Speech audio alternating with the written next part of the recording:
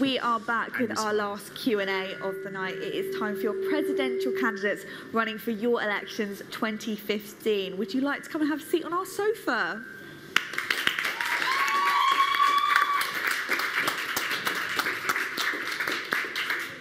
So the thought, oh, we're, we're deciding where we're sitting on the sofa. I just want to be near you both. Thank you, Ben. Right, so before we introduce Ben and Seb here on the sofa, let's talk a little bit more about the role that President entails. Debatably, King of the Susu Jungle, this is the role that we're looking at.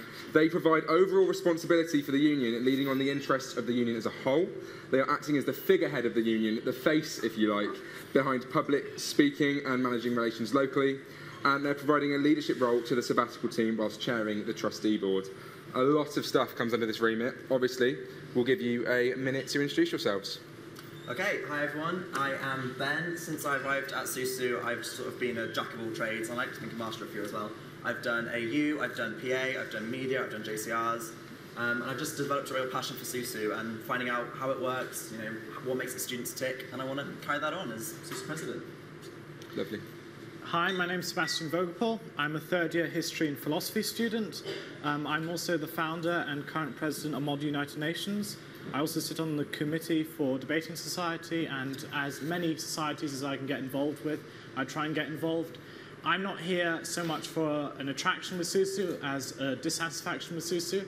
Um, I've noticed problems in the university that I think Susu has the ability to change, and I've noticed things wrong with Susu that, as the president of a society and someone involved with lots of societies, uh, things can improve for the better of this university to allow the university and the societies to thrive as much as possible. So we've got our hands in all the pies here on this sofa.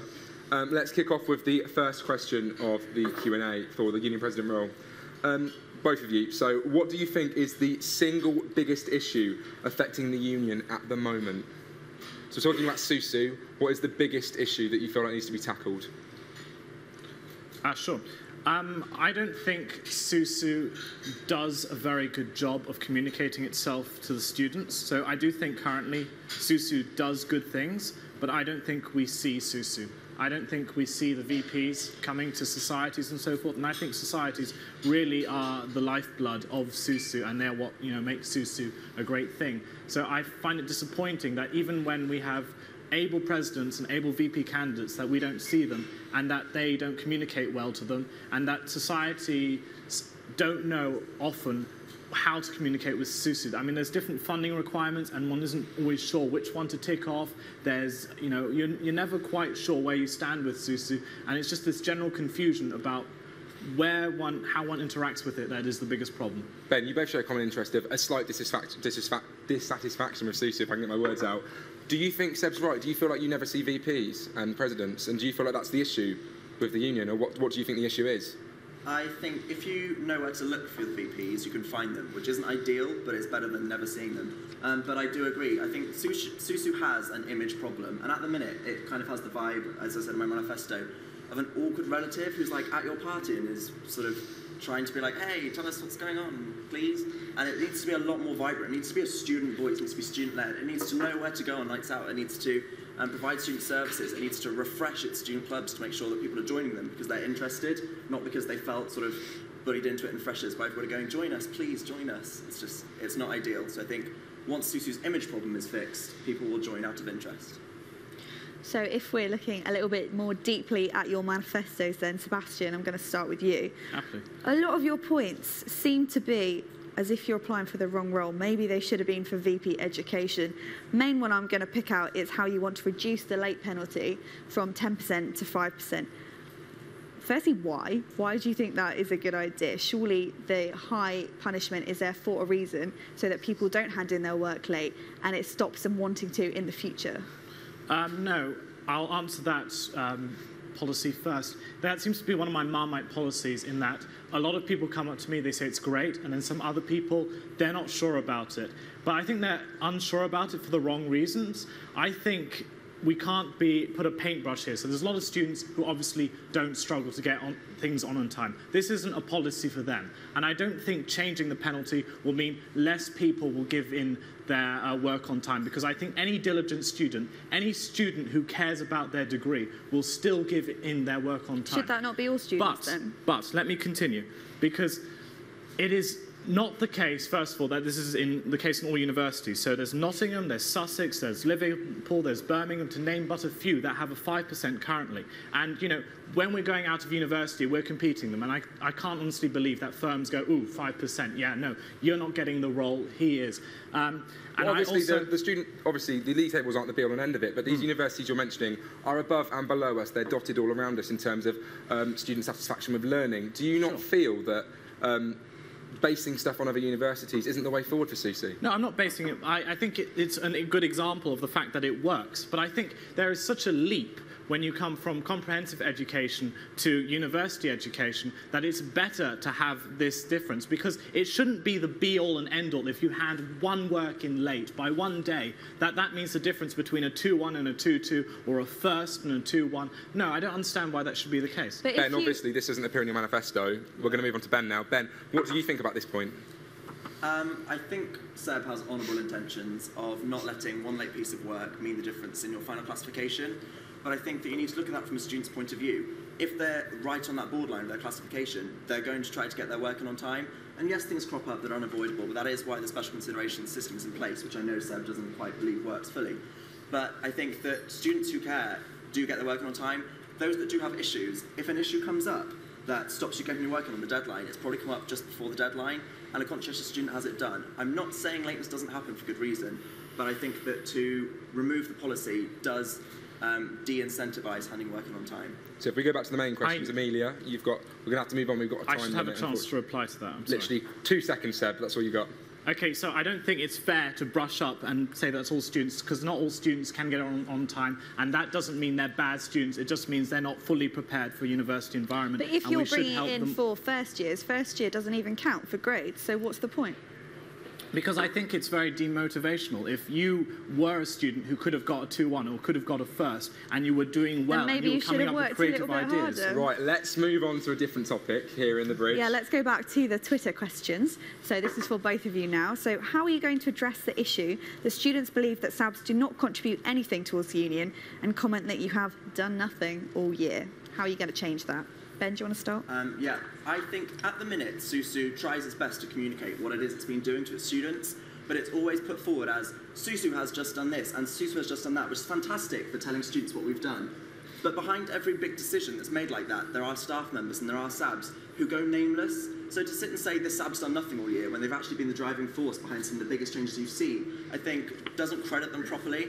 And so when we're making those communications, when putting up the Facebook posts and we're releasing the news stories, it's really important to be able to say this SAB was behind this choice and these roles at the meetings where this made, was made possible, which both makes SABs more accountable and more creditable for their actions, and also means that when people wonder which student roles to apply for, they know which roles got involved with what it was they saw and they liked. Seb, what do you think of this viewpoint that um, VPs and presidents are slacking, as it might be seen as? Um, I don't know if they're slacking or if they're not. I mean, I sometimes see that they've come up with some very good ideas. I think our current president, you know, the free language thing, that's great. The enterprise thing, that's great. But I don't see these things. So the biggest um, thing, first of all, has to be communication. The second most important thing is it's not good enough if they're just in an office all the time. It should be the case that they are actually coming to the societies. And as for, you know, student leaders when it comes into education, like, you know, the, your academic head for history, or whatever, how many people stand for most of these positions? It's barely anyone. So I think we need to also improve um, and try and encourage more people to stand for those positions so that there is competition, so that we end up with uh, the most competent candidates possible. Okay, so Ben, it's now your turn. So you want to build a new student theatre, um, and you do mention that you've got the, that we've got the annex, but you just don't think it's good enough. Realistically, can you achieve building a new one in a year? Can we afford it, and where would it go? realistically, in a year, it's not going to happen. I can't, you know, I can't work miracles. But there is definite need to lay groundwork for future development in Susu, and there is currently this half a million pound grant for a feasibility survey into what can be done. I think a big idea would be uh, raising the Susu building up into a couple of levels on the area if you look out of that window that you can see, because we don't just destroy green space on campus and a theatre could go in there. It's not necessarily a PA focus, but it's more an issue with creating space for more students. At the minute, the Cube is a highly contested space. Student groups all want it. And lots of things that do go on in there could be moved to a theatre if it was also doubling up as a conference venue.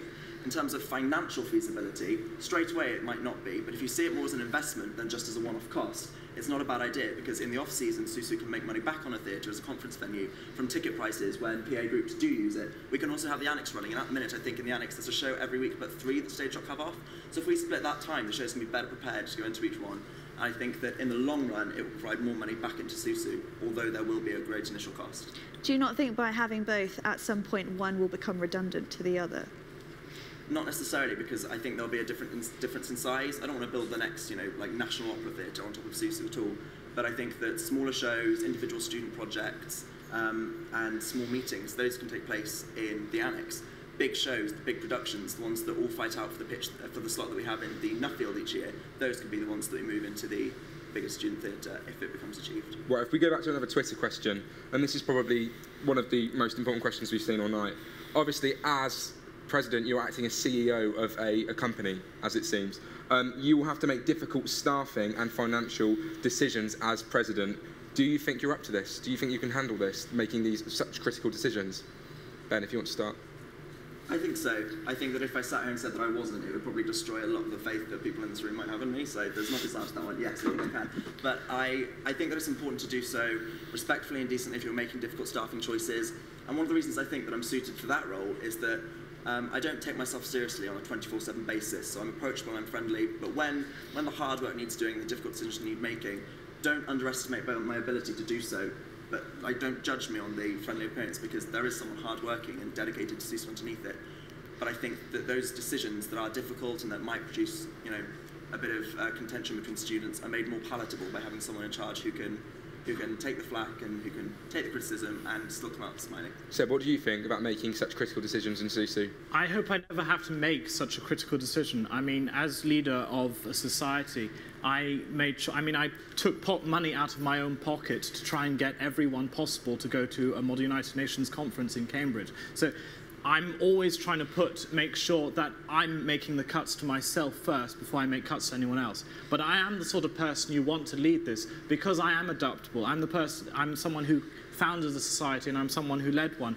And even before this, my lifestyle as someone who I grew up in lots of different countries. I've never lived in a house more than four years. I've always had to sort of live on my feet. So I know how to adapt, I know how to change, I know how to deal with failure, and I know how to come over it and break past those boundaries. And that's part of the reason why I've suggested all these policies about supporting people, helping aspiration, and making things in Susu more open. Okay, so beyond obviously making tough decisions, um, you're going to be the figurehead for Susu. You're going to be the um, the voice for Susu as a whole, and you're going to be the person that people look to.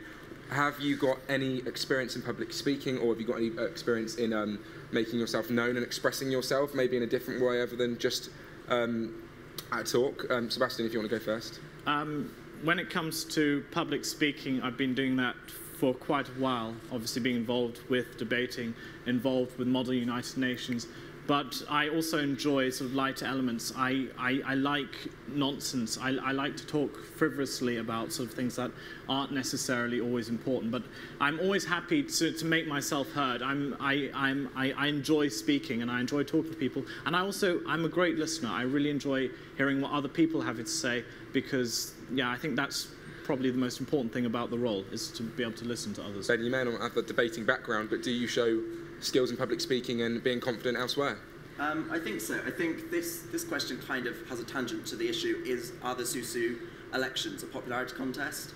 And I think that they boil down to similar things in that the things that make a person, in air quotes, popular, because it's such a cheesy word for it, is are things like being charismatic, joining societies, getting involved, maintaining good relationships with the people you meet in all your roles. And those kinds of things that I do believe I've done since I got to Susu. I've joined societies and I've made friendships and um, I I'm very proficient with social media. I've worked for, social, for Susu Comms Crew because I enjoy that so much. And I think these just show that I can engage people, I can get people interested. The Anaconda video I made, I think, is already on about 2,500 views, which is fantastic. It's phenomenal. It's surpassed anything even I thought, but it's because of my experience in engaging people and making them hear what it is I want to say that's made it such a success. That is brilliant. So I think it's time to have a little bit of a roundup of any points you wanted to say and weren't able to, and basically why everyone should vote for you. Sebastian, do you want to start? Um, sure, I'll just go over what I'm trying to stand for. So I'm trying to stand, I have three pillars, which are openness, aspiration, and support. So in terms of openness, I want to sort of put all the different parts of SUSU together in one kind of handbook. I want, um, I want to make in terms of aspiration. I want to continue upon an existing enterprise project. I want to further that. I want to make that stronger so we collect, uh, connect people with businesses. We allow people to go and have those startup opportunities. To that extent, I also want to make certain aspects of the university extracurricular credit bearing so that students don't just think about their degree, they also think about what they do outside of that so they become more well rounded and they become stronger for it. In terms of support, obviously the decreasing from the 10% to the 5%, but also better communicating special considerations because nobody really understands it at the moment, including the lecturers, not just the students, and that really desperately needs to be fixed. Um, and I think by putting all these things out there, by putting forward what I mean and how you can judge me, whether I've been successful next year, I've set up failure and success standards so you know and you can judge me as whether I have failed or whether I have succeeded at the if end we just of my move to Ben because we're running out of time here. Ben, your key points as why you're the main man for the job. Um, my manifesto has loads of ideas which function similarly to Seb's manifesto in that you can see at the end of the year whether they're met or not. A manifesto is sort of a checklist of your promises. But those three main ideas that they come into are repairing Susu's image, in doing so, cultivating more interest for students both looking to come to university and currently at the university, and creating a better space filled with top level facilities and looking to Susu's future, both expanding physically and into the student community. Brilliant. So can we give it up for our presidential candidates 2015?